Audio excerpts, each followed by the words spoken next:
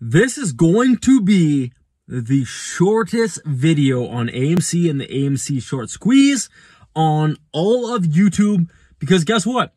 I don't give a fuck about subscribers. I don't give a fuck about watch time or views or any of that bullshit because none of my livelihood is resting on that.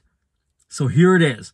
How do you know that the AMC short squeeze the fucking MOASS, baby. The fucking MOASS. How do you know that it started?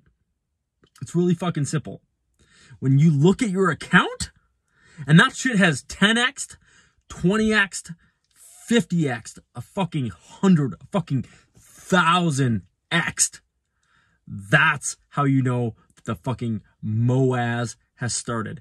All these YouTubers who keep putting out video after video after video the MOASS is coming. The MOASS is coming. It's coming. It's coming. It's coming. It's coming. It's coming. It's around the corner. It's just, an, it's next day. It's tomorrow. It's Friday. It's fucking, fuck all these people, okay? None of them have a fucking clue when it has started or when it is going to start. You I'm putting this on you because you gotta fucking own this shit. This is what we need more in this fucking world and in this life is we need people to take fucking ownership of their shit. When your account shows that your fucking shit went from whatever your average is, $30, $20, $5. If you're like me, you've been buying since last January. You started buying at $5 and I averaged up a little bit. But when your account shows that that shit is just fucking going to the goddamn moon, that's when the MOASS has started, okay? Don't listen to any of these YouTubers. They're trying to, they're trying to fucking hook you like a fish because their livelihood depends on you watching their shit, okay? Fuck those guys. Fuck them. Fuck their views, fuck their subscribers, fuck all that shit. You ever notice? this is gonna probably upset some people because there's a lot of Lou fans out there. There's a lot of them. I know there's a lot of them. And there's some also haters as well. It's like anything. There's gonna be a divide. There's gonna be some people that love and some people that hate. But Lou, you ever notice that, what was it, like two and a half weeks ago?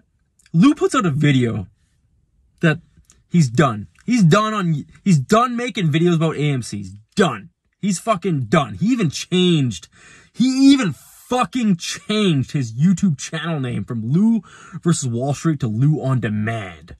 Lou's got a plan. Lou's a man with a plan. He's got a plan because his livelihood fucking depends on this shit.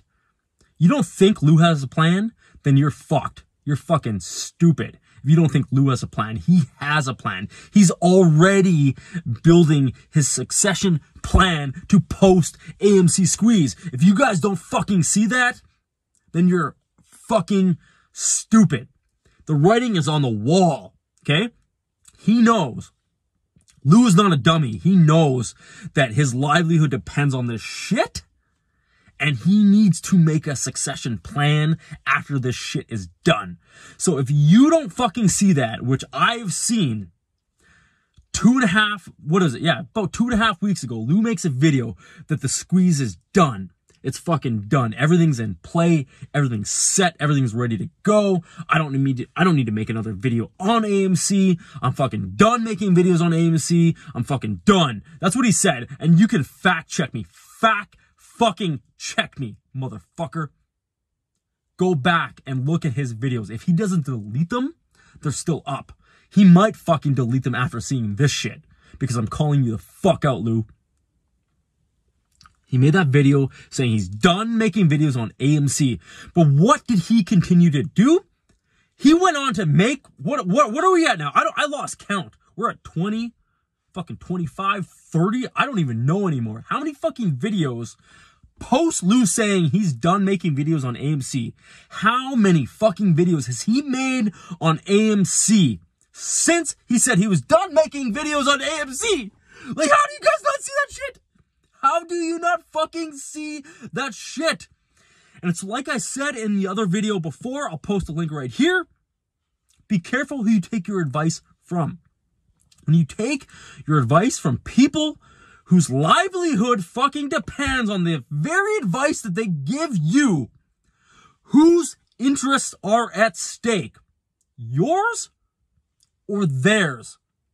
Guys, just like we've seen through all this fucking COVID bullshit and this pandemic, question fucking everything. It does not make you crazy. It does not make you conspiracy theorist. It is healthy to question shit. Peep, peep. Keep people fucking accountable. That's all I'm asking. That's all I'm saying. Just keep people fucking accountable. Okay? We're done. We're done until the next video, until I have another rant. Peace.